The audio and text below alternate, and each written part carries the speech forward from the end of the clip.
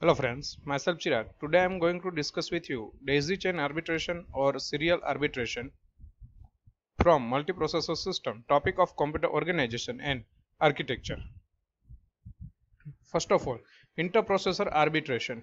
Uh, during multiprocessor, uh, more than two processor uh, access the system bus. At that time, arbitration give the priority which processor gives the first priority to access the system bus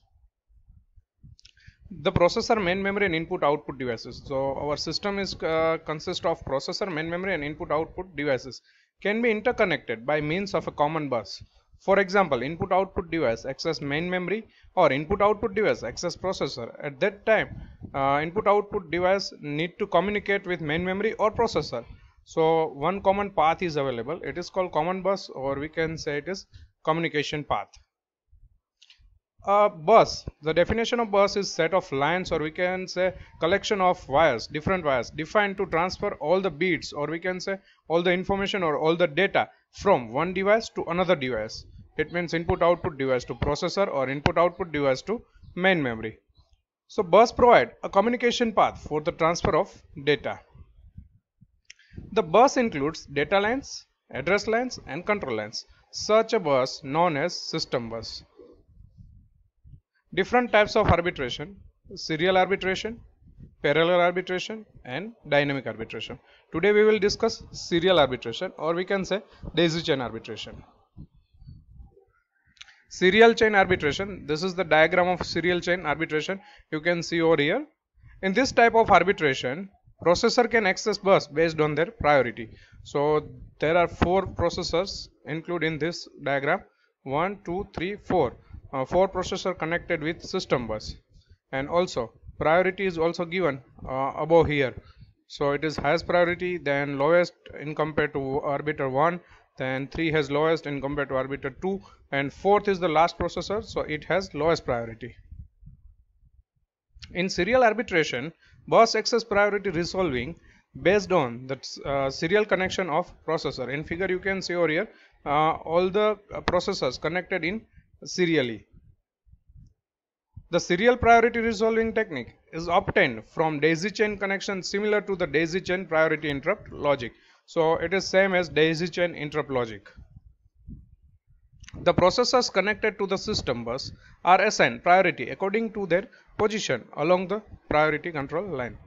So in figure you can see over here this is the processor connected with system bus and uh, all the processor assigned. Priority different priorities given here highest and then lowest. We already uh, we, we were already discussed uh, ago.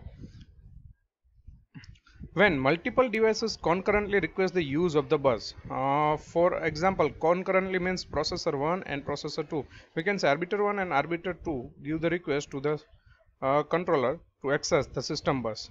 At that time the device with the highest priority is granted to access it. It means uh, arbiter 1 gets the uh, access of system bus because highest priority in compared to arbiter 1 and arbiter 2 has the arbiter 1 has highest priority. Each processor has its own bus arbiter logic with priority in priority out lines so any signal comes from the priority in and out from uh, one arbiter to another arbiter. So it is called priority in and priority out. It is uh, controlled by arbiter in processor the priority out of each arbiter is connected to the priority in of the next lower priority arbiter. So in this figure you can see over here uh, first arbiter PO it means priority out connected with PI priority in. The second one PO is connected with PI.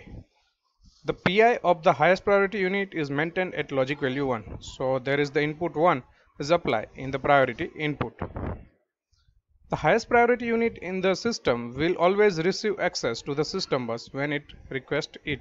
So we can say that uh, whenever any of the processor will request to access the bus uh, uh, system bus at that time controller give the access to the first arbiter 1 then it pass to the arbiter 2 then it pass to the arbiter 3 and then it pass to the arbiter 4 the processor whose arbiter has a pi is equal to 1 and po is equal to 0 that processor access the system bus.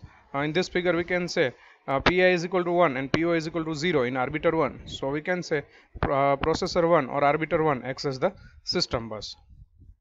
Advantages simple and cheaper method least number of lines a higher delay.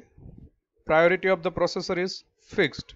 So first priority is the uh, processor 1 then processor 2 then processor 3 and it is not reliable uh, not reliable.